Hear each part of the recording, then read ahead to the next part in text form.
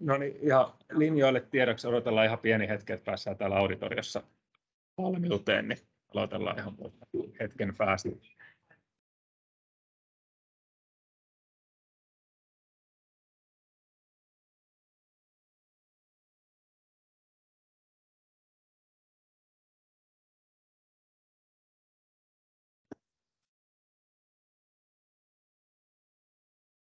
No niin, oikein, oikein hyvää huomenta kaikille ja tervetuloa tuloa kuulemaan ajankohtaisia asioita taloudellisen työnantajan käyttöönottoon liittyen.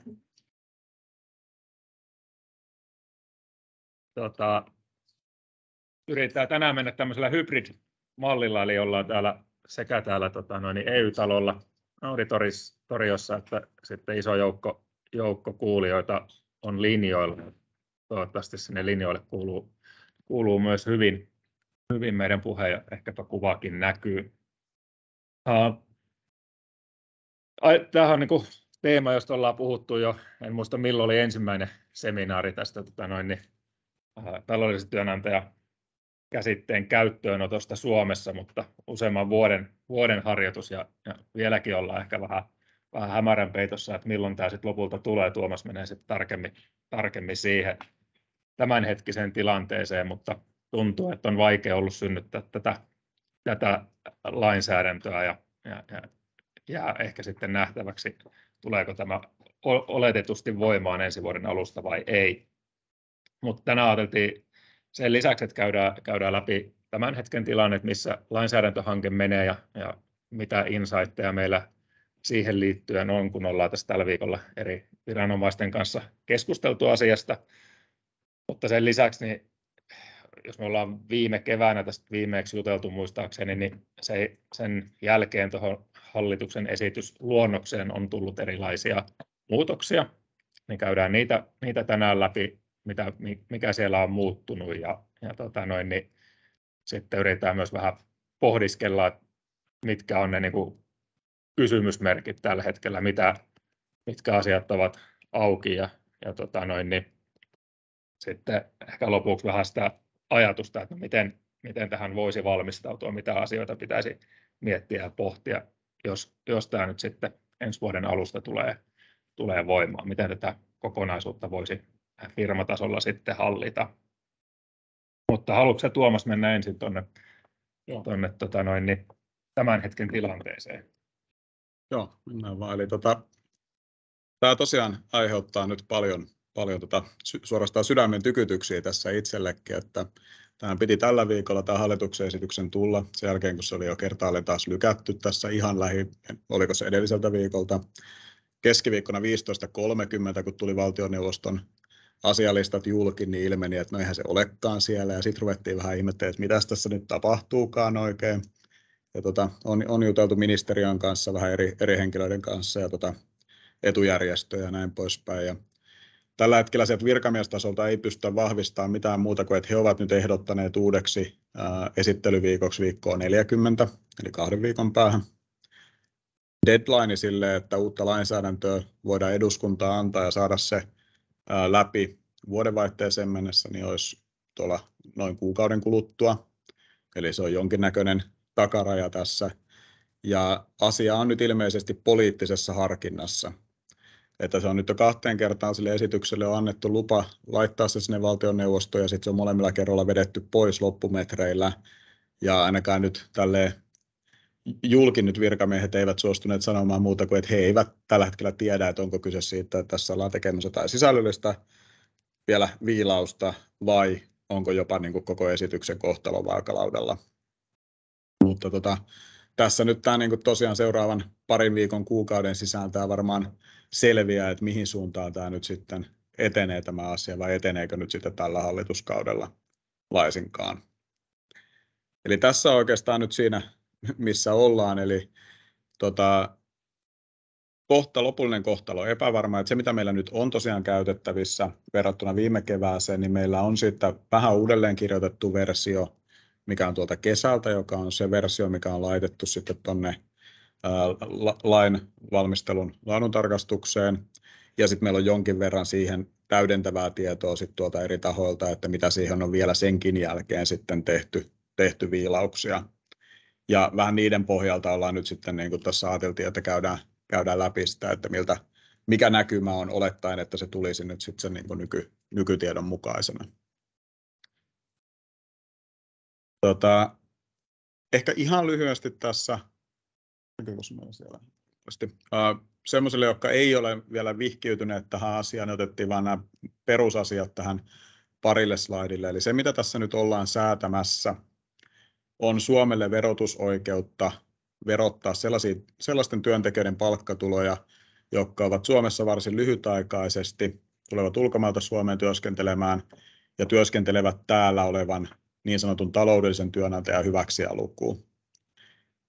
Tämä on se, mihin nyt tässä pyritään ja erityisesti ehkä tämä isoin muutos tässä kohdistuu näihin konsernin sisäisiin tilanteisiin. Meillähän oli näitä ulkoisia tilanteita varten, oli jo vuokratyösäännöksiä, niidenkin käyttöala laajenee kyllä niin kuin maantieteellisesti, mutta tota, isompi muutos on tänne konsernin sisäisiin tilanteisiin, missä meillä on tähän asti ollut tämä formaali juridisen työnantajan käsite, eli jossa on lähdetty siitä, että jos tämä työntekijä tulee ulkomailta Suomeen ja se työ, juridinen työnantaja on ulkomainen yhtiö, jolla ei ole Suomessa kiinteät toimipaikkaa ja he eivät ylitä tätä 183 päivän rajaa, niin käytännössä heitä ei ole Suomessa verotettu.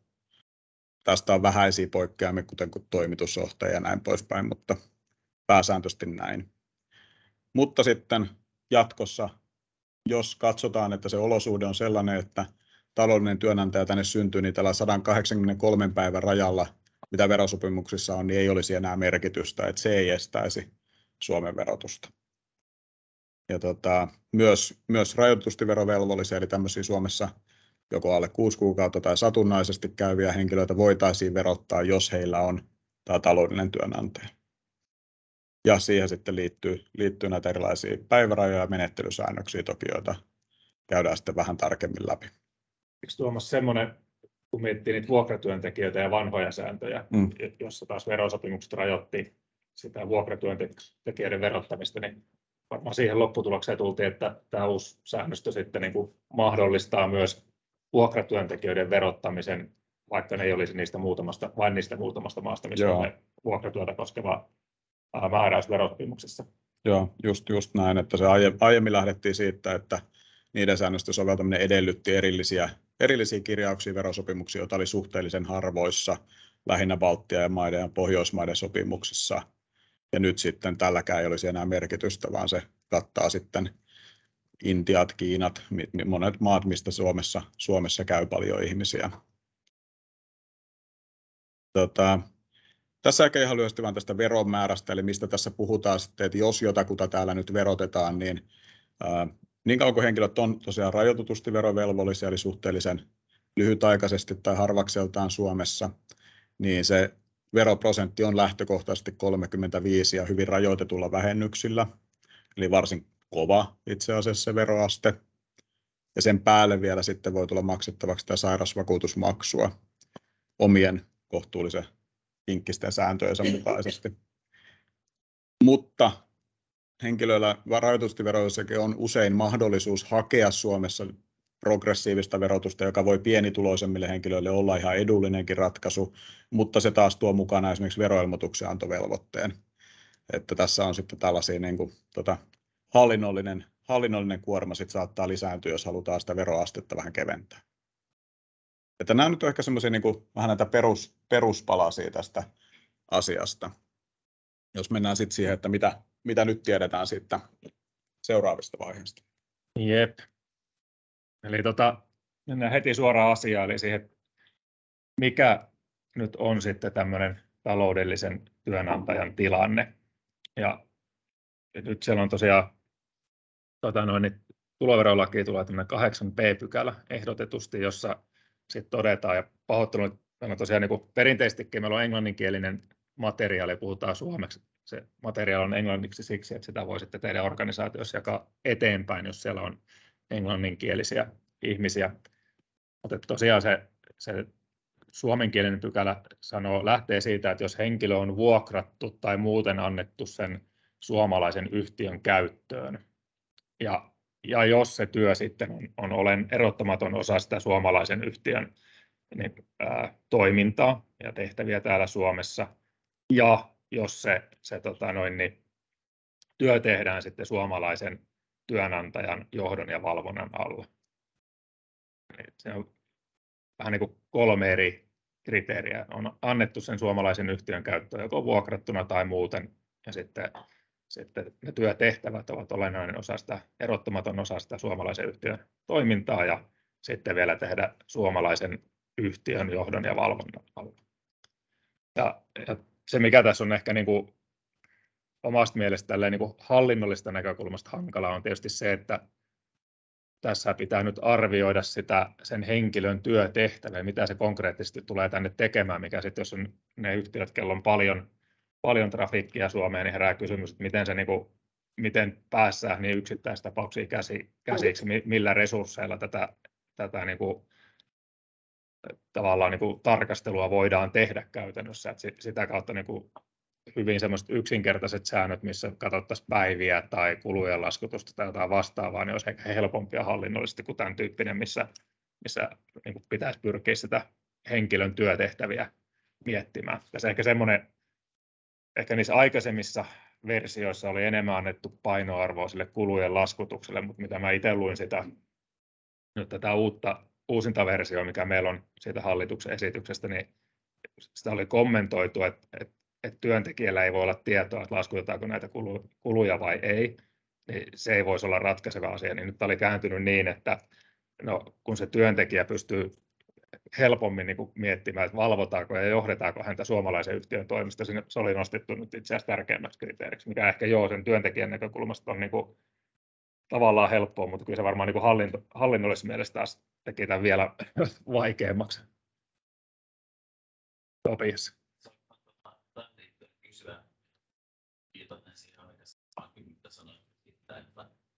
vuokratyöntekijöidenkin kohdalla tätä voitaisiin soveltaa. Tavallaan on niin kiinnostaa tämä aspekti tässä, että, että kuten nyt tiedätte, niin tietysti monessa konserneissakin on sellaisia tilanteita, että, että tota noin, ikään kuin silloin, kun konsernin sisällä työvoimaa liikkuu ja niin kuin työtä tehdään jossain muualla, niin sit saattaa olla, olla niin kuin, sanotaanko tällaista niin kuin ikään kuin palveluvelotusta ulkomaiselta entitiltä Suomeen, jossa toki tietyllä tavalla ehkä niin kuin voidaan mieltää, että liikkuu palkkakuluakin, mutta sit siinä on kuitenkin niin kuin jonkun tyyppistä marginia tai muuta päällä. Eli kyse ei kuitenkaan niin kuin faktisesti ole sinne siitä, mm. että palkkakuluja velotetaan Niin tavallaan miten tällaista on arvioitava yhteydessä tähän uuteen säädökseen, että et tavallaan niin kuin se tuntuu siltä, että tätä ei voi ratkaista silleen, että jätettäisiin jompikumpi niin kuin relevantti ja, ja varsin niin kuin yleisesti sovellettu säännöstö vähän niin kuin huomiotta. No. Että ainakaan ei voi olla niin, että samaan aikaan nähdään, että niin kuin yrityksen näkökulmasta on kyse vaikka palvelumyynnistä, mutta sitten kuitenkin työntekijän kohdalla olisi niin kyse siitä, että, mm. että niin kuin Suomessa onkin hänen taloudellinen työnantajansa, niin onko siitä ollut mitään niin kuin pohdintoja tai no. keskusteluja tai onko no, muita se, ajatuksia? Se, se, mitä tuossa HEessa sanotaan, niin siellä ehkä viitataan enemmän siihen, että jos se, ja, ja, tässä on yksi muutos myös on se, että viitataan HEessa tähän palkkaa ja työkorvausta ohjeeseen, mistä niin kuin sanotaan, että siitä voi lähteä hakemaan hakea tuota johtoa. Ja, ja, ja tavallaan kustannusten velotusten osalta niin siellä todetaan, että jos se kustannus, mitä tänne veloittaa, muodostuu niin kuin isosta kokonaisuudesta, että siinä ei ole pelkästään palkkakulut, vaan siinä on jotain muutakin, niin silloin on tietysti selvää, että se on enemmän niin kuin tämmöinen niin kuin kokonaisurakka, missä ei ole annettu henkilöstöä suomalaisen yhtiön käyttöön, mutta kyllä sitten taas, jos siellä on, niin kuin, mä ajattelisin, että sen perusteella, mitä mä sitä luin, että jos on palkkakulut jollain markinilla, niin kyllä se niin kuin, ei se ole ainakaan osoitus siitä, se markini, että näitä ihmisiä ei olisi niin kuin annettu sen suomalaisen yhtiön käyttöön. Että kyllä mä näkisin, että siellä on niin kuin, se voisi viitata siihen, että, että taloudellinen työnantaja voisi soveltua. Joo, ja siis täytyy sanoa, että tämä oli nyt tehty entistä epäselvemmäksi tässä uudessa versiossa, että tämä ja muutamia muitakin semmoisia niin kuin hankalampia asioita, niin oli kylmä viileästi poistettu sieltä esityksestä, että niitä ei välttämättä kommentoida enää oikein laisinkaan. Ja tämä kuluvelotus toimintamalliasiat on mun mielestä hyvin mielenkiintoinen. Tämä on varmaan vähän eri asia vielä, että onko niin kuin Suomessa esimerkiksi tytäryhtiö vai onko täällä pääkonttori ja just, että onko se niin kuin suoraa kustannusvelotus tytäryhtiö vai onko se jonkinnäköistä kulujen puulausta emoon, onko sillä joku merkitys, niin se on aivan siis nyt täysi mysteeri ainakin minulle tällä hetkellä, että, että mikä näiden vaikutus on asiaa. Ja ehkä tässä jotenkin se itse, mitä myös miettisin, että tässähän on tosiaan tämä kolikon kääntöpuoli tämän kiinteätoimipaikan riskin kanssa, että jos on sitä mieltä, että ei olla täällä tekemässä sen vastaanottava yhtiön liiketoimintaa, eli sitten ollaan ilmeisesti tekemässä sen lähettämän, jolloin ollaan sitten eri riskin kanssa tekemisissä, että, että tätä, tätä tässä aina joudutaan tasapainottelemaan varmaan yritystenkin näkökulmasta, että kumpaa oikeastaan halutaan argumentoida.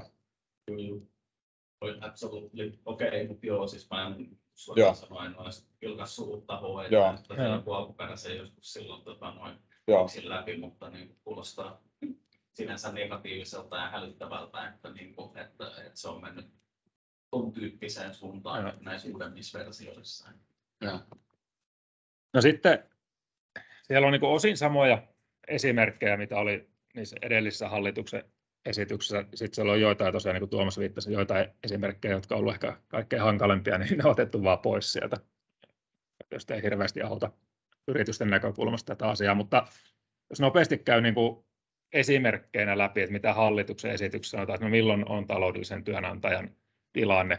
Ensimmäinen esimerkki tässä on tilanne, jossa Suomessa on tytäryhtiö ja sitten ulkomailla on emoyhtiö ja sitten joku tietty toiminto on, on niin kuin keskitetty tänne Suomen tytäryhtiöön. En tiedä kuinka, kuinka niin kuin, niin kuin todennäköinen esimerkki tämä olisi tai kuinka niin hyvin heijastelee todellisia tilanteita, mutta jos näin olisi, että Suomessa olisi vaikka joku sitten myyntifunktio tai HR-funktio tai mitä vaan tähän Suomen yhtiöön keskitetty, ja sitten jos siihen liittyen tulee ihmisiä Suomeen työskentelee, ja ne työskentelee niin kuin samanlaisissa tehtävissä kuin suomalaiset työntekijät täällä, niin, niin silloin, silloin tota, äh, HEissa todetaan, että on todennäköisesti voi olla taloudellisen työnantajan tilanne käsillä. No sitten toisinpäin, jos, jos tota noin, niin on ulkomaille ulkoistettu vaikka johonkin ulkomaiseen konserniyhtiöön sitten vaikka viestintä- tai markkinointitoiminnot, ja sitten Suomessa, Suomessa tota on pää, pääkonttori sitten, tai sivuliike tai tytäryhtiö, niin jos tämmöiset niin ulkoistetusta funktiosta, joka henkilö tulee Suomeen tekemään sitä vaikka sitä markkinointihommaa, katsomaan, että no miten se markkinointi täällä Suomen yhtiössä saadaan niin kuin viety eteenpäin, niin silloin ei olisi tota noin, niin, taloudellisen työnantajan tilanne, koska se ei ole erottamaton osa sen suomalaisen yhtiön toimintaa, vaan se on ulkoistettu sinne ulkomaiselle tytäryhtiölle. Sitten ehkä niin kuin mun oma näppituntuma on, kuinka hyvin tänä päivänä isoissa konserneissa on johonkin tiettyyn juridiseen funktioon näitä toimintoja keskitytty, vaan enemmän tuntuu siltä, että ne on ehkä osaaminen on ympäri, ympäri niin kuin gruppia eri yhtiöissä, jolloin, jolloin tämä tämmöinen tilanne ei ehkä kovin useasti tule käytännössä sitten vastaan. No sitten tässä oli tilanne, jossa, jossa oli tämmöinen peruskomennus, komennetaan suomalaiseen yhtiön henkilö muutamaksi kuukaudeksi työskentelee täällä, täällä ihan niissä samoissa tehtävissä, mitä, mitä muutenkin Suomessa tehdään, niin silloin on tietysti selkeästi taloudellisen työnantajan tilanne. No sitten, sitten tässä oli tämmöinen markkinointi esimerkki, vähän sama kuin tuo aikaisempikin esimerkki, eli jos ulkomaisella, ulkomaiseen konserniyhtiöön on keskitetty joku toiminta, vaikka markkinointi, ja sitten henkilö tulee tänne jalkauttamaan sitä markkinointitoimintaa, niin se ei, ei tota, luo taloudellisen työnantajan tilannetta, mutta jos hän jää sitten sen, sen jälkeen vielä työskentelemään Suomeen sen markkinointistrategian implementoinnin jälkeen, niin sitten voisikin olla taloudellisen työnantajan tilanne. Sitten erikseen on, on todettu tämmöinen tota, kuukauden koulutus Suomessa. Ehkä työsuhteen alussa halutaan opiskella, no mikä se niin kulttuuri vaikka tässä firmassa on, ja sitä kautta henkilö tulee Suomeen tutustumaan vaikka niin pääkonttorille, että minkä yleisiä perehdytystyyppistä tekemistä ja olettaen, että kulujakaan ei silloin tänne Suomeen laskuteta, niin sitten tota, ei olisi taloudellisen työnantajan tilanne. Onko niin, tuo oli ainut näistä konsernissaista esimerkkeistä, missä edes mainittiin sitä kuluvelotusta? Joo, mä, mä luulen, että se oli vain jäänyt sinne niin, tuota vahingossa. Joo. Joo. Ja sitten tota noin, niin, no sitten oli tämmöinen IT-yhtiö esimerkki, missä, missä IT-yhtiön asiakkaalleen Suomessa hoitaa vaikka jotain tota, tiettyä, tiettyä prosessia, mikä on esimerkiksi heille ulkoistettu tai, tai muuta, niin tarvii siihen prosessiin, mitä he asiakkaalle tämä tekee, niin lisää resursseja ja pyytää sitten ulko, ulkomailta, tota, noin tekee sopimuksen jonkun ulkomaisen firman kanssa, joka tuo niitä resursseja siihen projektiin. Ja silloin kun ne tänne tulee, niin ne selkeästi tietysti työskentelee sen suomalaisen yhtiön projektissa ja samantyyppisissä tehtävissä kuin suomalaisetkin työntekijät ja silloin taloudellisen työnantajan tilanne olisi käsillä.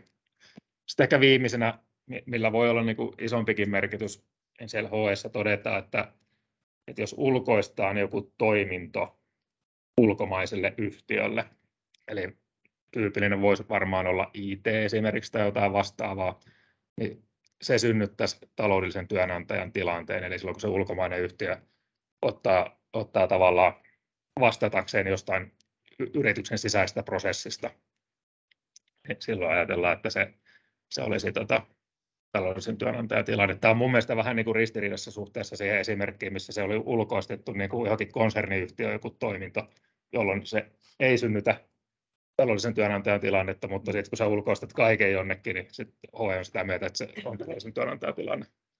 Tuo on mielestäni vähän semmoinen kyllä niin kuin yllättävä laajennus näihin ei-konsernitilanteisiin, että kun on siis tosiaan on aikanaan ollut itse niitä kirjoittelemassa niitä säännöksiä, niin olisin sanonut, että vanhoilla säännöksillä ei olisi kyllä tulkittu tuollaista kokonaisen funktion ulkoistusta missään tapauksessa vuokratyöksi. Että nyt jos noihin pyritään puuttumaan, niin tämä on kyllä niin kuin erikoinen kehitys mielestäni. Joo. Toi oli ehkä niin kuin merkittävimmät esimerkit, mitä siellä HS tällä hetkellä on. Sieltähän oli tota, jäänyt esimerkiksi se tota, konsernin johtoryhmää koskeva esimerkki pois. Joo. Mikä, haluatko siihen kommentoida joo, vai? Joo, nousi vaikka siihen. No, me palataan siihen kohta, joo. joo. Tota, no sitten vielä vielä tota, muutama niin kuin erityisesti konsernin sisäisiin tilanteisiin koskeva poikkeus tuossa esityksessä. Eli nyt käytiin läpi, että no milloin se taloudellisen työnantajan tilanne voi tulla eteen, niin sitten konsernin sisäisissä tilanteissa siellä on vielä tämmöinen niin kuin vapautus lyhytaikaista työskentelyä koskien. Ja silloin kun on konsernin sisäinen tilanne, niin jos henkilö työskentelee enintään 15 päivää yhtäjaksoisesti Suomessa ja tai ää, enintään 45 päivää kalenterivuoden aikana. Eli tavallaan 15, yli 15 päivän yhtäjaksoinen oleskelu toisi verovelvollisuuden Suomeen, tai sitten jos ei ole yhtään tämmöistä yli 15 päivän yhtäjaksoista oleskelua, niin se, että on yli 45 päivää kalenterivuoden aikana. Ja, ja, ja tämä on tosiaan koskevaa konsernin sisäisiä tilanteita. No sitten, että mit, milloin se verovelvollisuus alkaa, niin siitäkin HE on montaa mieltä. Siellä, nämä on, ei ole suoria, on periaatteessa suoria lainauksia, mutta käännetty, niin, niin vapaasti, tota, käännetty. vapaasti käännetty suora lainaus, miten se nyt sanotaan, mutta siellä esimerkiksi todetaan, että, että, että jos henkilö yhtäjaksoisesti työskentelee yli 15 päivää, niin sitten se palkka on siitä 16 päivästä lähtien veronalasta, eli tavallaan olisi 15 päivän niin vapautus. No sitten se todetaan, että jos se työ jatkuu yli 45 päivää, niin, niin tota, sitten se onkin sieltä ensimmäistä päivästä lukien veronalasta. Ja, ja, ja tota noin, niin, no sitten jos, jos tota noin, niin henkilö on ekaksi 45 päivää alkuvuodesta Suomessa useissa eri jaksoissa, josta yksikään ei ylitä 15 päivää, ja sitten sitten se on myöhemmin vaikka elokuussa viisi päivää, niin sitten ne ekat 45 päivää verovapaita, ja se viisi päivää elokuussa on veronalasta. Ja tota noin, niin sitten sit todetaan jossain kohtaa, että no jos, jos se henkilön niin kun oleskelu ylittää 45 päivää, niin siitä eteenpäin on raportointivelvoitteet sitten tällä tällä suomalaisella yhtiöllä. Mutta sitten sieltä löytyy myös tuo viimeiseksi lisätty maininta, että jos se ylittää 45 päivää, niin onkin itse asiassa takautuvat raportit. sellainenkin löytyy. Onnea implementoinnille.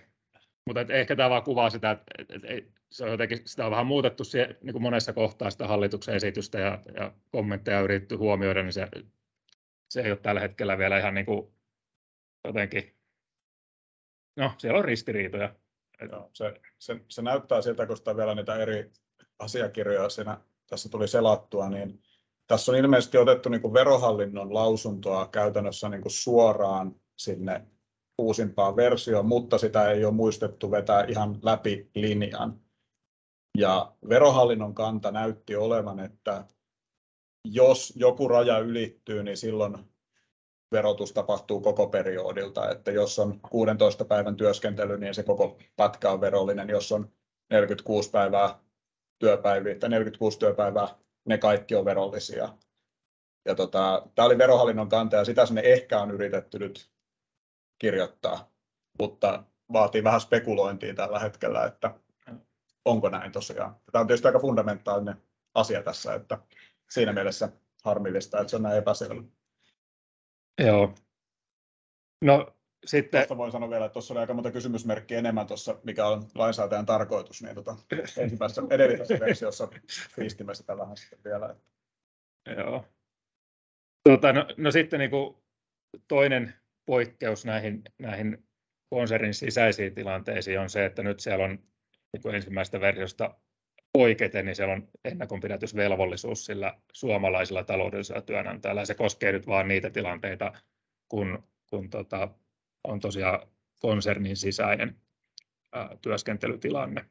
Ja, ja käytännössä, käytännössä sitten suomalaisen yhtiön tulisi tavalla tai toisella ennakonpidätys toimittaa sitä siltä osin, kun se palkka on, on veronalasta. Ja niin kuin äsken käytiin läpi, niin vielä on vähän epäselvää, että miltä osin se voisi olla veronalasta. Ennakonpidätysvelvollisuus sinne on nyt tullut.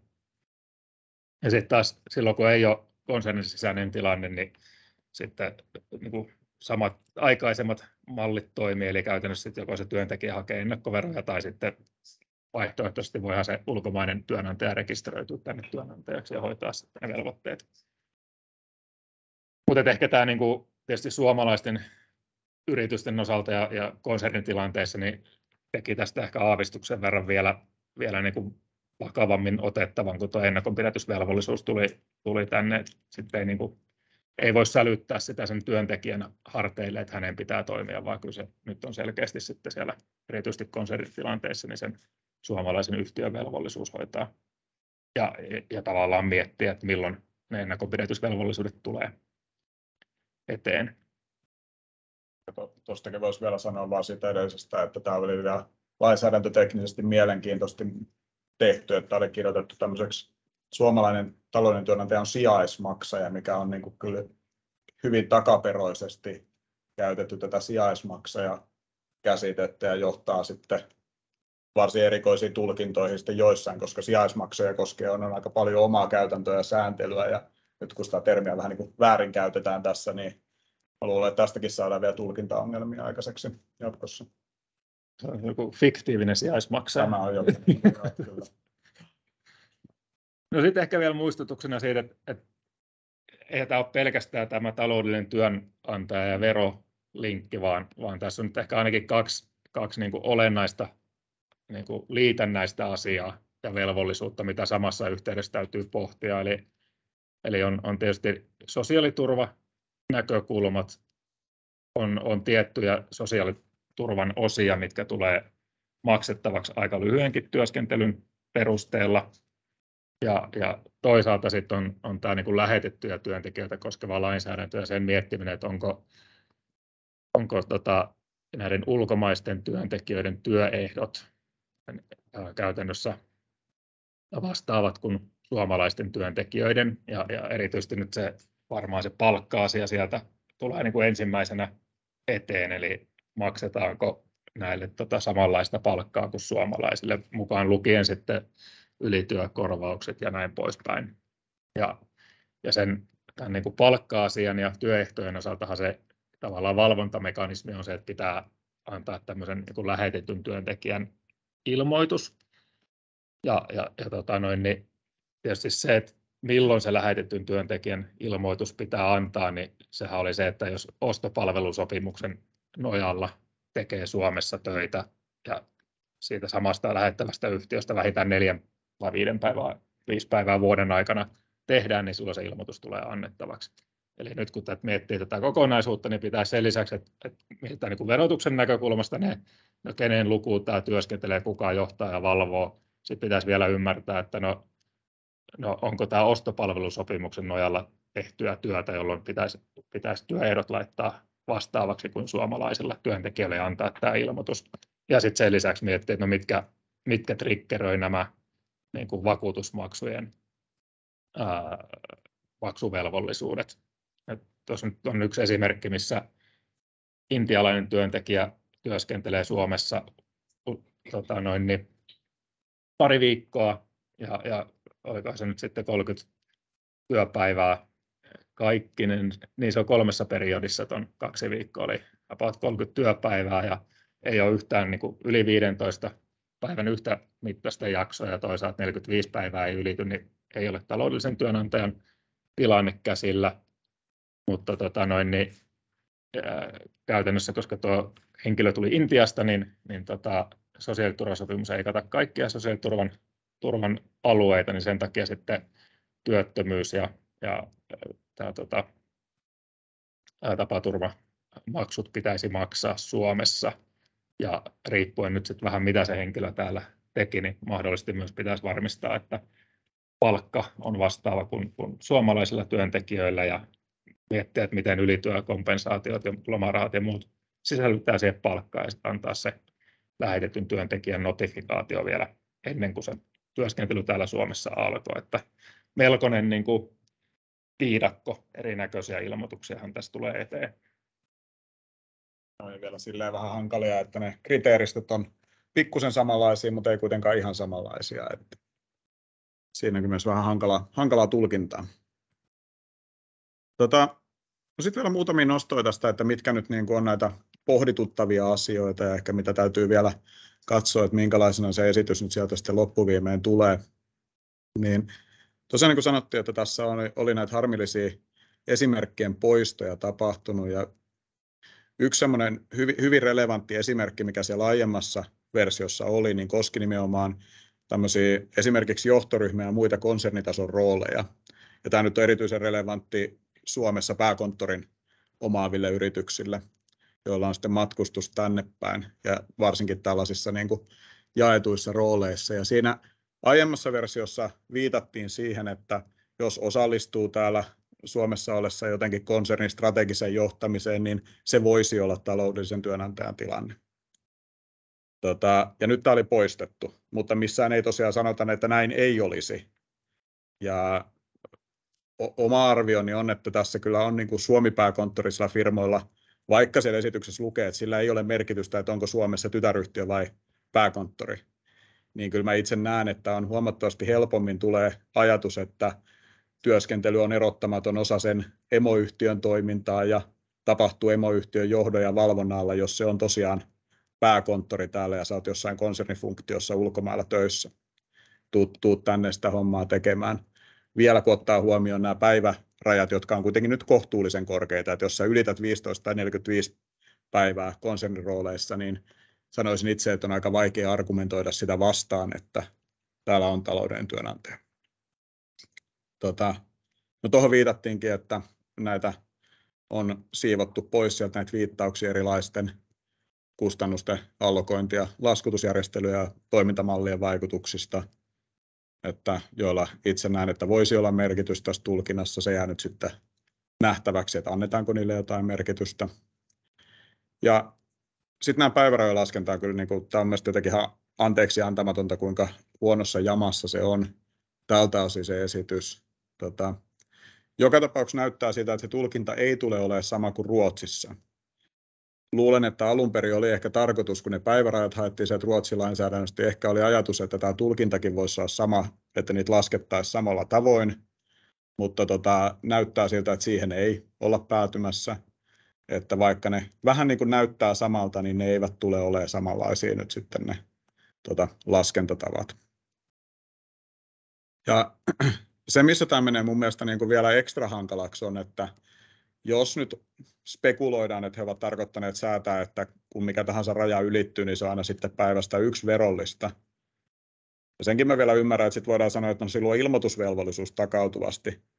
Mutta mitä se ennakonpidätysvelvollisuudelle tapahtuu niissä tilanteissa, että onko sulla takautuva ennakonpidätyksen tilitysvelvollisuus ja mitä se edes oikein niin tarkoittaisi, niin tä, tästä ei niin kuin minkäännäköistä viitettä siinä tuota HS, että miten tämä voisi käyttäytyä.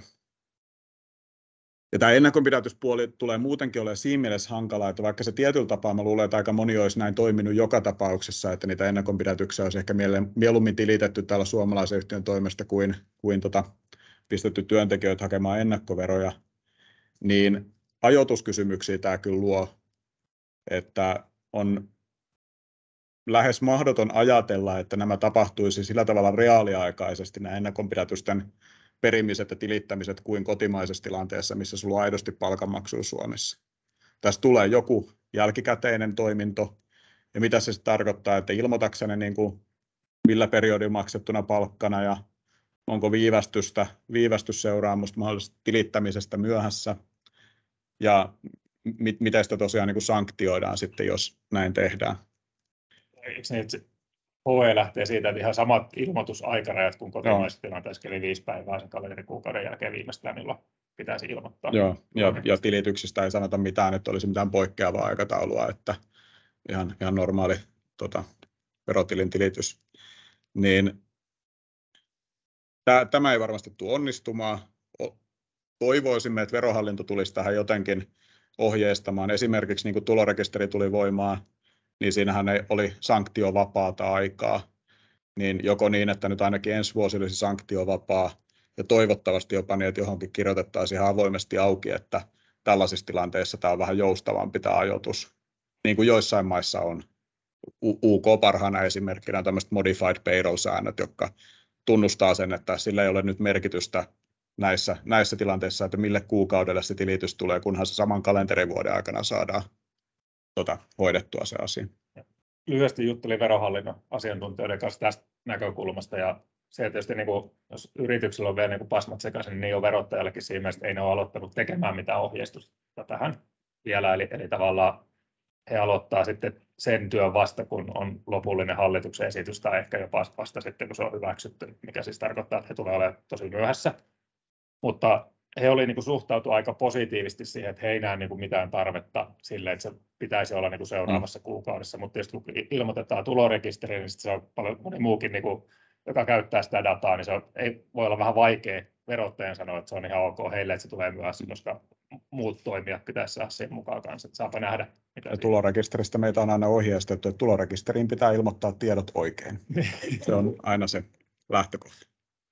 Direct quote.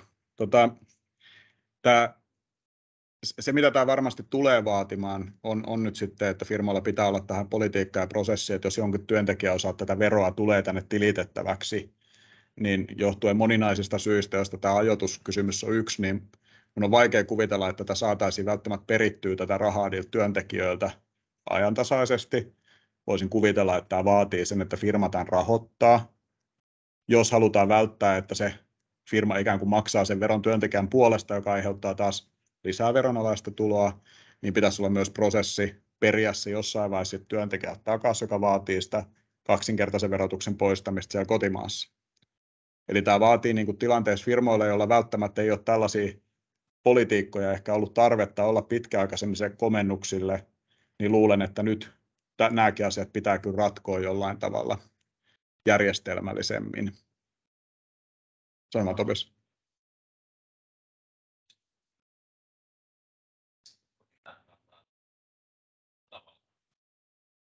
Joo. esimerkiksi ei toimi, mutta että koska tämä nyt on pohjoismaisessa tilanteessa ilmeinen kysymys, no. että tota, onko siitä mainintoja mitään? Mielestäni ei ollut kyllä. Jossain versiossa oli joku pieni posti niin. rekkiin liittyen, mutta ei, ei, se kyllä ollut nyt näissä niin yksityiskohtaisissa niin. perusteluissa ei ollut kyllä mainittu, että se olisi niin kuin... Joo se, sehän toki helpottaisi vähän, jos ne saisi sen että tuota, siirtää viranomaisten välillä ne verot, niin olisi pikkusen helpompi soveltaa, mutta vähän epäilen. Tota, No, yksi sellainen, mitä siellä ilmeisesti on tapahtunut sen jälkeen, kun tämä niin kuin viimeisin versio on kesällä tullut julki, niin siellä on vähän poistettu näitä päällekkäisiä ilmoitusvelvoitteita. Eli nyt jos tulee tilanne, jossa sillä vastaanottavalla yhtiöllä on, on se veronpidätysvelvollisuus tai ennakonpidätyksen pidätysvelvollisuus, niin sitten se lähettävän yhtiön ei enää tarvitse antaa mitään ilmoituksia. Tässä julkaistusversiossa oli vielä vähän niin kuin molemmille osapuolille laitettu siinäkin konstellaatiossa velvoitteita, niin sitä nyt ollaan vähän järkiperäistetty ilmeisesti. Silja.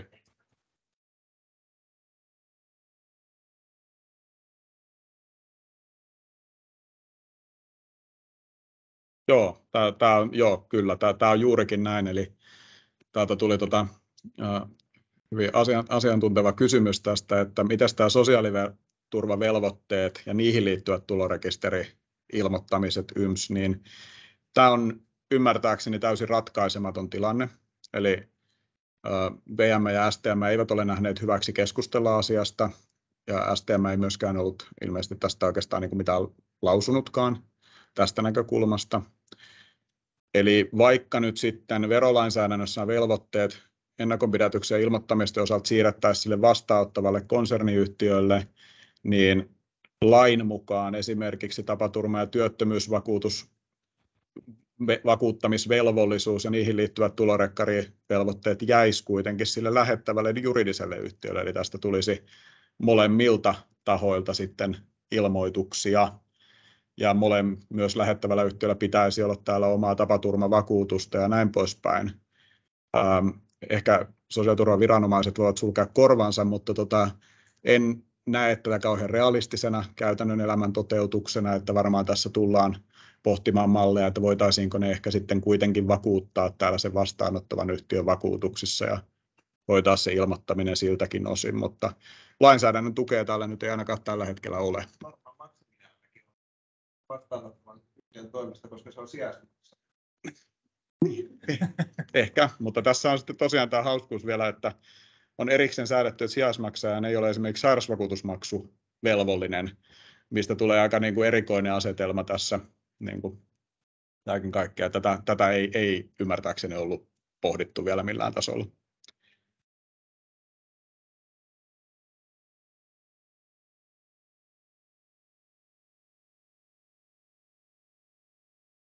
Niin, eikö näin? Joo. Niin, kyllä. Niin, näin voi spekuloida, että ei. tämä ei ehkä vielä ole ihan lopullinen ratkaisu tähän asiaan. Tota, no noista puhuttiinkin noista linkeistä muihin lainsäädäntöihin. Tota, ehkä vielä tuosta, että mitä tästä saattaa, saattaa tarkoittaa niin kuin verotarkastustoiminnan ja valvonnan näkökulmasta.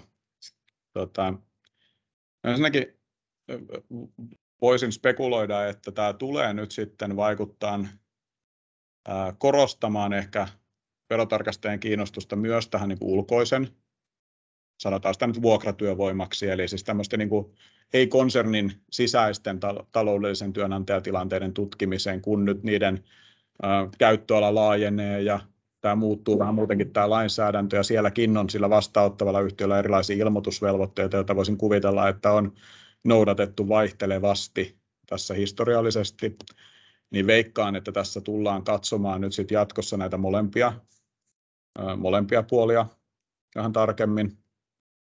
Ja sitten se, että mitä, mitä tota veroviranomaiset sitten tarkastaisi oikein tässä konsernin sisäisissä tilanteissa, ottaa nyt erityisesti huomioon nämä päivärajat. Eli siellä oli alkuperäinen ajatus, siellä oli ollut verohallinnolla, että he haluaisivat tiedon kuitenkin kaikesta matkustuksesta, jotta he voivat valvoa, onko niitä päivärajoja sovellettu oikein. Ja sitten kun se poistettiin, niin sen jälkeen siellä nyt ihan lukeekin, että firman pitää pystyä pyydettäessä esittää tietoa sit siitä tänne tulleesta näistä työpäivistä, mitä työntekijät on täällä viettänyt. Eli ymmärtäisin, että tässä mennään tällaiseen niin kuin prosessin tarkastukseen aika pitkälti. Tai ainakin mielestäni siinä tässä on vahvoja viitteitä siitä, että tullaan tarkastamaan sitä prosessin uskottavuutta, että onko sinulla keinot seurata sitä matkustusta tänne ja sen perusteella tehdä sitten jotain johtopäätöksiä siitä, että mitkä mahdollisesti olisi verollisia matkoja. mitään oikein muuta keinoa en itse ainakaan näe, että mihin, mihin suuntaan tämä voisi mennä. Mutta tota, to, toki vähän ennustamista, mutta, mutta tämä nyt on niin kuin muissakin maissa taas UK ehkä semmoisen niin perinteikkävänä esimerkkinä, että siellä tämä on niin kuin tietyllä tapaa formalisoitukin, että olennaista on se prosessi, mikä, minkä sä pystyt esittämään. Ja, ja sitten ehkä se, että verottaja, jos valvoo tätä näkökulmaa, niin varmaan se linkki sitten Avin kanssa, joka katsoo ehkä sitten työehtoja ja, ja sitten toisaalta sosiaaliturvaviranomaisten kanssa, niin ainakin epäilys on, että data varmaan liikkuu sitten näiden viranomaisten välillä. Eli, eli se approach, mikä mistä ollaan paljon asiakkaiden kanssa puhuttu, kun jossain muussa maassa tätä on ruvettu niin ottaa jostain näkökulmasta, on se sitten postit worker näkökulma tai veronäkökulma tai mikä vaan, niin et, et sit, kun asialle jotain tekee, niin varmaan se niin hyvä lähtökohta on katsoa ne kaikki eri velvoitteet, mitä tähän liittyy, eikä niin, että hoidetaan vaikka nyt verokuntoa ja sitten sen jääkin ehkä se tavallaan niin kuin työehdot ja, ja postit worker asiat huomioimatta tai sosiaaliturvaan liittyvät asiat huomioimatta. Että varmaan niin kuin asioita laitetaan kuntoon, niin joka näkökulma pitää ottaa, koska sitten taas jos raportoi vain sitä veroa, niin on, on niin kuin paljon suurempi riski jäädä niissä muissa asioissa kiinni kuin jos ei tekisi mitään. Ja sitten sä omaat sen tiedon, mistä sulla olisi ollut mahdollisuus tehdä ne oikeatkin johtopäätökset. Niin, just näin. No sitten tota, viimeiseksi vähän ajatuksia siitä, että no, miten tätä voisi lähteä eri organisaatioissa sitten niin kuin laittamaan kuntoon. Ja varmaan niin kuin tapoja on monia ja yksi tapa, mikä toimii yhdelle organisaatiolle, niin ei, ei välttämättä toimi toiselle organisaatiolle. Että varmaan ensin tietysti pitää lähteä niin kuin siitä, että no mitä täällä halutaan saavuttaa. Tähdätäänkö me niin verotukseen vai kaikkiin näihin näkökulmiin, mitä tässä on. Minkälaisia volyymeita pyörii. Niin approach on varmaan aika erilainen, jos tulee viisi ihmistä vuodessa joille voi ollakin sitten tämmöinen hyvinkin manuaalinen prosessi versus sitten, jos on tuhansia matkustajia Suomeen, niin, niin tota, vaikea nähdä, että mitään niin henkilötason selvitystä siitä, että no onkohan tämä ihminen nyt niin kuin suomalaisen yhtiön johdon ja valvonnan alaisena ja onko hänen työtehtävät nyt erottamaton osa tätä suomalaisen yhtiön toimintaa, niin semmoiseen ei, ei varmaan niin kuin millään pysty. Ja, ja tota, no sitten ehkä se, että minkälaisia tämä matkustava henkilöstö on? Löytyykö sieltä jotain tiettyjä ryhmiä, jotka on niin ehkä vähän riskaapelimpia kuin jotkut toiset, jotka todennäköisesti lois näitä tota, verovelvoitteita? Et löytyykö sieltä esimerkiksi joku tota, jotain niin kuin projektissa työskenteleviä henkilöitä tai ehkä korkein johto on varmaan sellainen, mikä pitää katsoa niin kuin erikseen ja vähän ruveta tekemään niin kuin sitä arviointia ää, ryhmittelemällä sitä, sitä tota matkustavaa henkilöstöä. Sitten, sitten ehkä se on niin kuin tietysti merkittävä kysymys, että no mikä se missäkin organisaatiossa se datan lähde on, mistä se data löytyy, onko, onko joku matkavarausjärjestelmä, onko, onko se sitten niin kuin joku kuluvelotusjärjestelmä, onko se international sosta, mikä ikinä tavallaan se data lähde missäkin organisaatiossa on, jonka pohjalle tätä voisi lähteä rakentamaan. Sitten täytyisi varmaan pohtia sitä, että onko, onko niin resursseja organisaatiossa sisällä tehdä tämä vai pitääkö tämä joltain, joltain osin ulkoistaa. Ja, ja varmaan sitten sekin täytyy pohtia, että mikä on niin kunkin organisaation riskinottokyky ja halu tässä, että niin kuin varmaan kustannus sille, että tämän tekisi juuri niin kuin tota, verohallinto, tai niin kuin tavallaan, että jos halutaan maksimoida se, että olemme varmasti compliant, niin se, sen kustannus on tämmöisessä niin kuin lainsäädännössä ihan jäätävä, varsinkin jos on paljon, paljon liikettä Suomeen, että varmaan siinä täytyy sitten jonkunnäköinen kompromissi tehdä sen, sen tota prosessin ja kustannusten kesken. Tobias. Tuosta liitoin vielä, vielä jotenkin pohtii tätä niin kuin, tavallaan prosessin kyvykkyyden tarkistamista. Joo, siis tavallaan niin kuin tuntuu, tuntuu ajatuksen tasolla uskottavalta ja varmaan just sellaiselta, että niin kuin se jotenkin niin kuin, linkkaa olennaisesti tähän, että jos tätä todellakin halutaan, niin tätä tavallaan siihen sen on mentävä.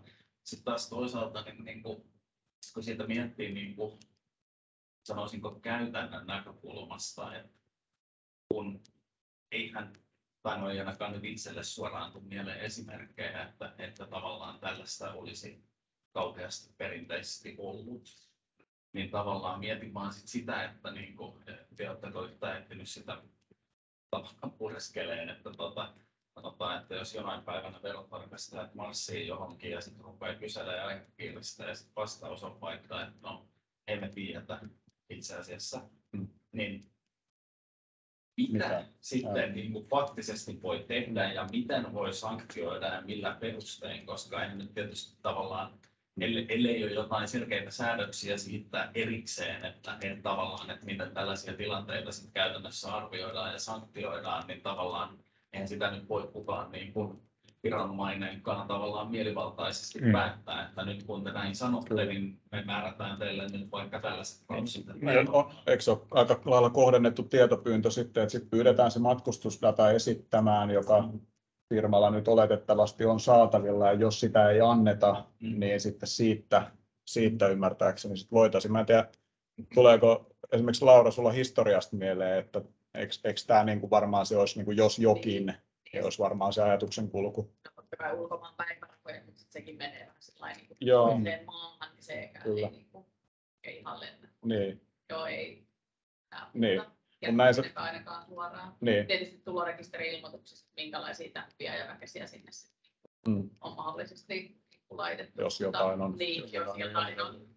Mutta mut, näin mä niinku kuvittelisin, että se ei varmaan voi olla sillä tavalla että arvioitu ennakonpidätys ja maksu. Kyllä, joo. Että se ei varmaan voi olla se niinku ratkaisu, että se täytyy olla joku tällainen niinku tietopyyntö uhkasakolla henkisempi, Mm. sanoisin. Oliko Anna? Joo, uh, mahdollista todistusvelvollisuutta firmalla, koska kuitenkin semmoinen tietyllä tavalla yleistynyt työntekijät pitää henkilökohtaisia lomoja niin kuin työmatkojen tai tämmöisen eh, toisessa konsernissa työskentelyn yhteydessä. Että jos siellä joku työntekijä varannut firman kautta sitten lennot kuudeksi viikoksi, mutta hän on siitä aidosti tehnyt töitä vaan niin ensimmäisen ja viimeisen viikon Mm. Oulussa niin välillä ja lomalla. Että miten siinä on sitten tietty niin tämmöiset todistusvelvollisuudet, että työntekijä ei oikeasti tehnyt töitä tätä koko aikaa. Ei varmasti siinä sitten jo täytyy pystyä näyttämään lomakirjanpitoa ja näin poispäin, että kyllä se varmaan kääntyy siinä vaiheessa, että pyydetään matkustuspäivät ja sitten jos olet sitä mieltä, että ne ei tavallaan kerro sitä totuutta, niin mä luulen, että firmalle se varmaan jää sitten näyttää. Tämä olisi niin kuin ensimmäinen ajatus. Ehkä noin niin projektiorganisaatiossa, niin ne kuluvelotuksethan pyörii automaattisesti sen niin kuin ERPien mukaan, Niin. että minkä maan projektille on niin kirjannut omat Niin. tulonsa. Niin, niin sit sieltähän niin kuin ainakin niin kuin nähdään niitä, että Niin. miten sisäiset velotukset on niin kuin mennyt tehdyistä työtunneista niin maasta toiseen. Tämä on varmaan niin kuin projektifirmoista on niin kuin tietyllä tapaa selkeämpi myös, että niin kuin nämä on, on aika selvää usein, että ne yleiskriteerit täyttyy ja just sitä dataakin on paremmin, että mä luulen, että nämä niin kuin on nämä muu matkustus, just nämä konsernifunktiot on edelleenkin se, mitä mä niin kuin itse mietin aika paljon tässä. Että, kuvitella, että mitä tässä tapahtuisi, Mm. miten tämä voisi mennä, että jos lähdettäisiin katsoa jostain maasta mallia. Että jos sulla ei oikeasti ole sitä prosessia kunnossa, eikä sulla olisi mahdollista esittää vaikkapa sitä arviointia tai dataa, että kuinka paljon ulkomainen, ulkomailta tulleet tullut henkilöstö on työskennellyt Suomessa, mitä ne on täällä tehnyt.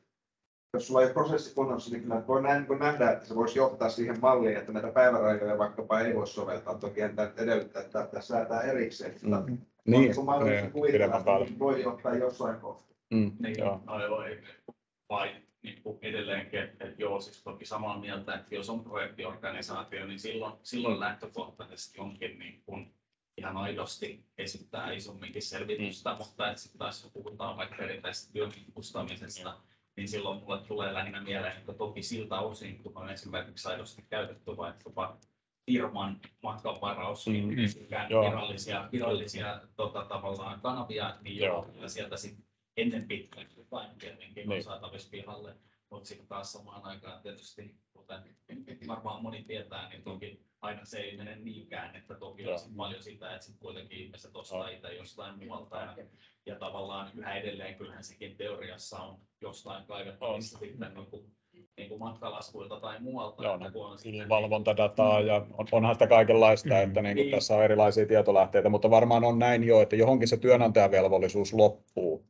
Että jos sulla ei ole realistisia mahdollisuuksia, että henkilö on itse varannut sen matkan ja näin ja näin, ja sitten jostain syystä ei edes laskuttaisi sitä firmalta, niin tota, sitten, mutta kuitenkin, ja, ja sittenkin mä samaa mieltä, että tämähän ei ole nyt kauhean tyypillinen, ei meillä oikein tällaista verotarkastuskäytäntöä ole, että tämä niin on vähän uutta. Että tavallaan kun jälleen, että sitten niin kuin jos tekee valtavan data dumpin Mm. johonkin, että no tuosta, Mm, niin tavallaan niin kuin siinä ihan jo niin kuin päästään sitten niihin kysymyksiin, mikä nyt ei toki joka kerta, mutta että Mm. tavallaan, että tässä on kyse myöskin sit ennen pitkään myöskin resursseista niin Mm. viranomaisen On, puolella, on. että tavallaan, että et, et, näin, näinkö Joo. oikeasti siellä riittää niitä tekijöitä Joo. siihen, että niin tätä Joo. kaikkea käydään läpi, että, että tavallaan että tässä on paljon, paljon sitten tällaisia myös käytännön haasteita puolia ja toisin tähän koko, koko ajan liittyen. Mä mä jotenkin itse näen niin, että, että se mitä pitäisi tehdä on, on niin kuin, että kunnon yritys, että, että Mm. luodaan ne prosessit ja yritetään niin kuin hoitaa ne, mitä pystytään hoitaa, eikä mennä nyt sitten niin kuin miettiä niitä,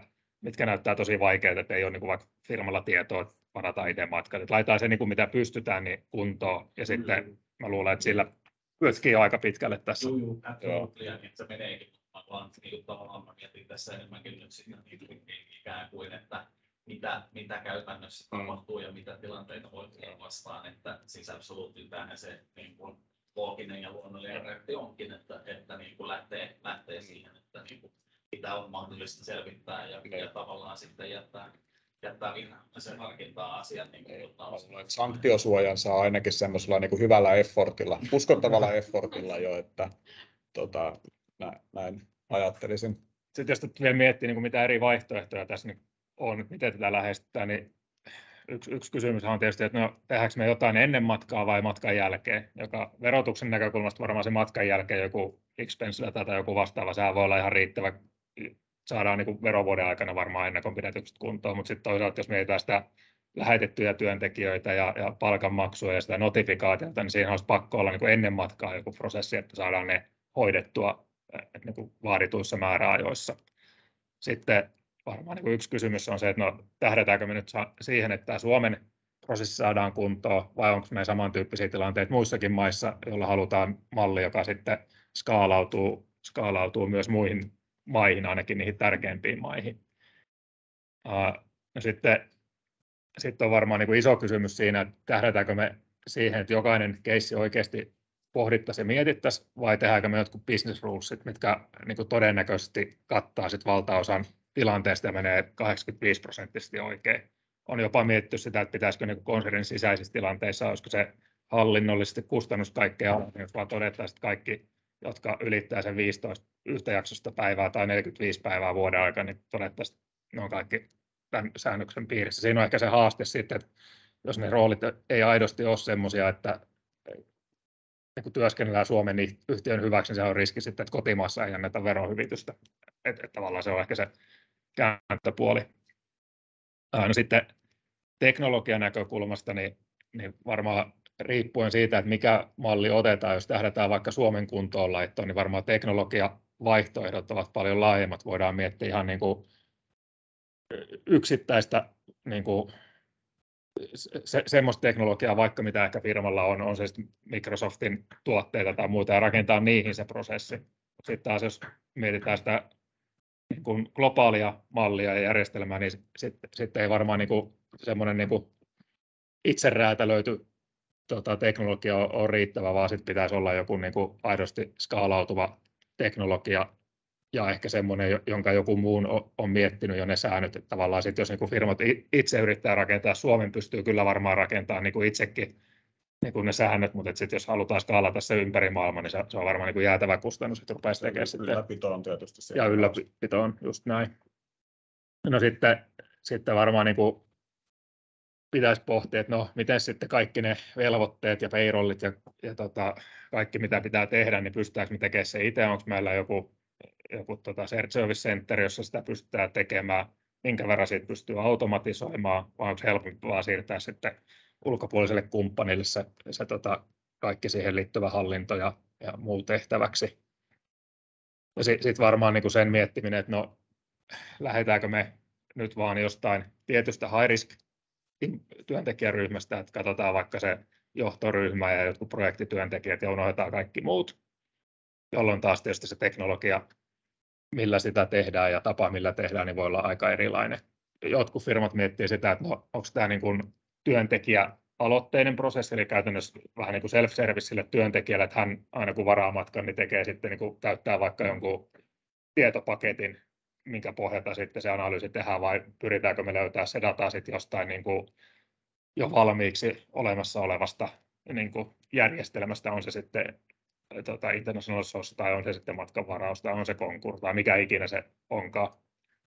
Uh, sekin on varmasti jokaisen firman pohdittava. Ja sitten nähdään sitä, että niin kuin kiinnostus tämmöisiä, myös siihen, että onko joku vaikka ServiceNow-teknologia, mikä firmassa voi olla käytössä, miten sinne pystyy rakentamaan tämmöisiä prosesseja ja näin poispäin. Että, että paljon erinäköisiä lähestymistapoja ja, ja en, ennen kuin tätä voi lähteä niin kuin laittaa kuntoon, niin täytyisi ehkä miettiä se, että mikä se meidän firmassa, mi, mihin me halutaan niin kuin keskittyä, mitä me halutaan täällä saavuttaa.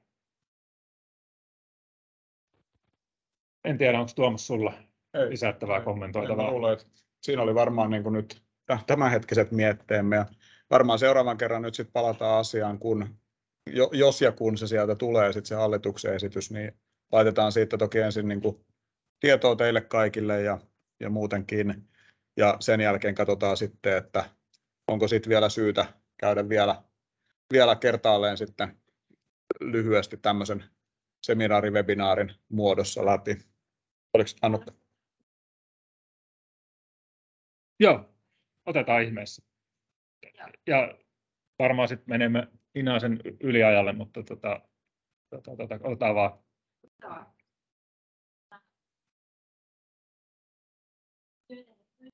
Suomesta vai syntyykö tällainen tilanne myös, jos henkilö tekee työtä etän ulkomailla suomalaisen yhtiön hyväksi? On Eli kysymys oli se, että pitääkö työ tehdä fyysisesti Suomessa vai voiko tämä säännöstö tulla sovellettavaksi, jos on, on tota noin, niin virtuaalisesti tehdään töitä suomalaiselle yhtiölle. Ja, ja tota noin, niin kyllä tässä varmaan se fyysinen oleskelu on, on, on se niin kuin ratkaiseva asia, eli ei, ei voi niin kuin virtuaalisesta, virtuaalista taloudellista työnantajaa käsitettä ei, ei tiedota vielä. mutta se voi olla kyllä seurausteppi ihan oikeastikin, että siihen suuntaan voidaan jossain kohtaa mennä, mutta ei, ei vielä.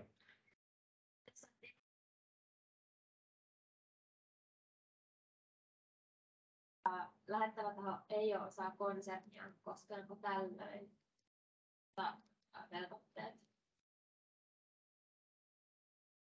Aika vaikea kysymys. Mm. Pitäisi tulkita niitä ulkoisia, ulkoista niin kuin ei-konsernisäännöksiä ja näin poispäin, niin en, en kyllä lähtisi edes arvailemaan. Niin, sit, että... Jos tämä hallit, ja ehkä vielä kysymys linjoillekin, kysymys oli se, että jos tulee Suomeen niin tekee tutkimusta, mm. julkinen projekti tai mihin, mihin tulee, ja ei ole konsernitilanne, niin, niin tota, voiko olla taloudellisesti työnantajakäsite, ja ehkä siinä se palkka- ja työkorvausta ohje, mihin ne viittaa hallituksen esityksessä, siinähän lähdetään se, että no, kuka johtaa ja valvoo, niin varmaan nyt on vähän kysymys siinä, että mm. oikeasti kenelle sitä tehdään, kuka sitä valvoo. Mm. Et täysin riippumaton tutkimus, joka rahoitetaan jostain ulkopuolelta, niin voi olla eri juttu kuin se, että jos sen yhteydessä myös opettaa ja näin poispäin. Että... Noinpä. Oliko vielä?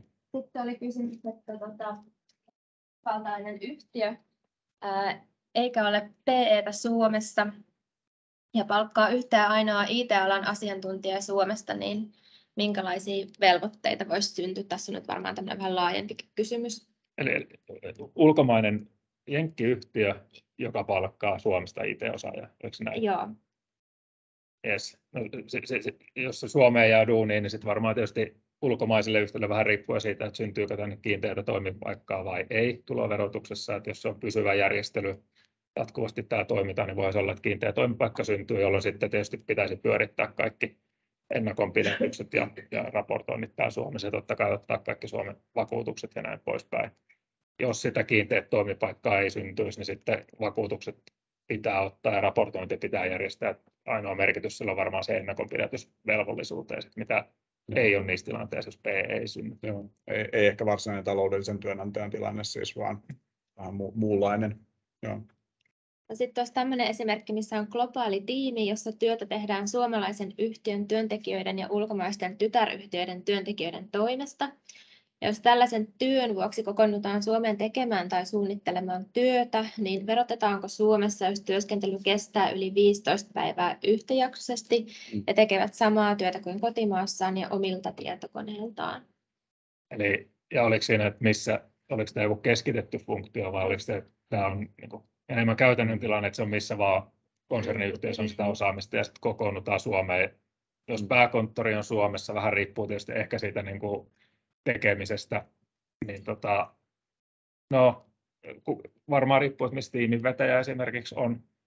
Mahdollisesti. Ehkä, jo, jo, jolloin niin kuin, jos se olisi Suomessa, niin voisi ajatella, että Mm. Suomessa olevan johdon ja valvonnan alaisena tätä työtä tehdään, jos ei ole Suomessa mitään tiimivetäjää eikä Mm. näin poispäin, niin ehkä mä ajattelisin, että ei se varmaan niin kuin johto ja valvonta täällä Suomessa ole, sit jos tämmöinen tiimi kokoontuu Suomeen, se funktio ei mitenkään ole täällä niin kuin Suomessa Niin, johdettu. niin, kyllä. Sitten jos tosiaan on pääkonttori täällä ja tämä on sellaista, minkä kulut puulataan Suomeen, niin tota, sitten sit äkkiä sanoisinkin, että se on Suome, Suomessa se johtajavalvonta, vaikka se esimies ei täällä olisikaan, vaan sekin olisi jossain tytäryhtiössä. Niin, et tota, en, en, en osaisi kyllä vastata tällä hetkellä. Suottaa pihat olla. Niin, kyllä. Joo.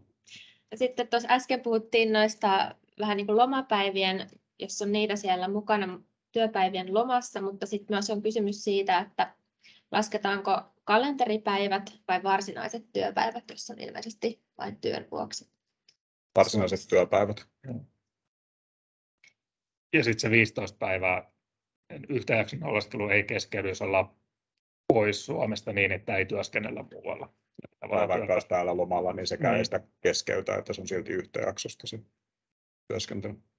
No sitten on viimeinen enemmänkin ehkä kommentti kuin kysymys, mutta täällä on, että isoissa firmoissa voi myös olla tilanne, jossa vaikkapa Australiassa oleva henkilö pyytää romanialaista työntekijää tulemaan projektiin Suomeen, eikä Romanian maayhtiö tiedä toista, tiedä tästä tosiaalisesti yhtään mitään, eli Romanian ja Suomen välillä ei periaatteessa ole mitään ostopalvelusopimusta. Tarkistin tällaista tilannetta Avilta ja pitkällisen pohdinnan jälkeen tulivat siihen tulokseen, että tässä kuitenkin muodostuu Romanian ja Suomen välille sopimus ja kaikki nämä säännökset pätevät. Ja, ja toi on munkin kokemus ja positiivinen asia, että Avista on saanut ihan niin kuin oikein vastauksen, mutta tota noin, niin ehkä siinä se varmaan näin on, että jos tullaan Suomeen töihin, vaikka mitä niin kuin oikeasti sopimusta ei olisi, mutta jos tulet tekemään suomalaisen yhtiön, yhtiön tota noin, niin projektia ja todennäköisesti palkkakustannuksetkin sitten ehkä on täällä Suomessa, niin sitten varmaan Avi ajattelee, että vaikka ei ole tehty kirjallista sopimusta, jo- mutta jonkunnäköinen sopimus siellä täytyy olla. No, Niin se siellä varmaan tarvitsen sen sopimuksen edes olla suomalaisen osapuolen kanssa, että riittääkö se mikä tahansa konserniyhtiöiden välinen sopimus. Niin, tota, että joo, todennäköisesti oikein. Niin. No sitten tuli vielä yksi kysymys, että koskeeko säännökset myös toimitusjohtajapositiota, eli sama toimitusjohtaja eri konserniyhtiöissä ja vierailee eri maissa vuoden aikana. Joo, ei, ei ole mitenkään ekskludattu toimitusjohtajia, eli toimitusjohtajat sinänsä niin kuin saman säännöksen piirissä. Ja sitten mä ajattelen, että jos joskushan näkee niin, että juridinen ikään kuin työsuhde on siellä vaikka to, jossain toisessa Pohjoismaassa, mutta hän on myös Suomen tytäryhtiön toimitusjohtaja, niin jo nyt itse asiassa tänä päivänä toimitusjohtajien osalta on ollut se tilanne, että jos henkilö työskentelee täällä Suomessa ja varmaan niin osa kuluista joudutaan allokoimaan sitten tänne Suomeen, niin lähtökohtaisesti se toimitusjohtajan palkka voi mennä Suomessa verolle, mutta tämä nyt tietysti entisestään vahvistaa.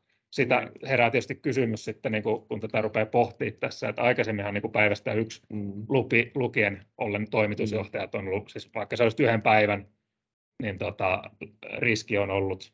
Eikö se menee, Ja niin se, se pääasiallinen työskentely Niin. niin. kuukausittain. Mä sanoisin, että se menee, ne vanhat säännöt menee vieläkin ohi, että ne olisi niin kuin erityissäännöksiä suhteessa tähän, että, että todennäköisesti niin kuin, tämä ei välttämättä vaikuta toimitusjohtajien tilanteeseen, jos on suomalaisen yhtiön niin kuin ihan formaalissa toimitusjohtajan roolissa. Ja mä kysyin tätä VMltä jossain vaiheessa ja pyysin, että voisiko he kirjoittaa tästä sinne tota, suuntaan tai toiseen jotain, mutta en ole ainakaan itse havainnut, että näin olisi tehty. niin sä, sä ajattelet tavallaan, että se taloudellisen työnantajan niin säännöt ei tule sovellettavaksi, vaan että se menisi sen pääasiallisen. Toimitusjohtajaa koskevan. Joo, kyllä. Okay, no mutta Tätä voi tulkita varmasti Joo. ehkä. Voi olla, että meillä on tässä sisäinen eri, Joo, erilainen Kyllä. näkökulma tähän, mutta. Oikeudet ratkaisevat. Et jos haluatte neuvoa Niin, miettiä, niin kummasta kysyy. Joo. Joo. Alright, oliko vielä? Siinä oli kysymykset, joo. Hei, tota, kiitoksia kaikille aktiivista osanotosta ja, ja osallistumisesta ja, ja tietysti toivottavasti linjoilla kuuluu myös hyvin. Tämä, tämä varmaan tässä seuraavien parin viikon aikana nyt sit saadaan lisää tietoa, että miten tämä etenee, niin olkaa toki, toki yhteydessä. Me olemme teihin päin yhteydessä ja, ja pohditaan sitten, kun tiedetään enemmän, että miten, miten tähän haasteeseen missäkin organisaatiossa kannattaa lähestyä ja miten se ratkaissaan. Mutta oikein mukavaa alkavaa viikonloppua kaikille ja kiitoksia vielä kerran.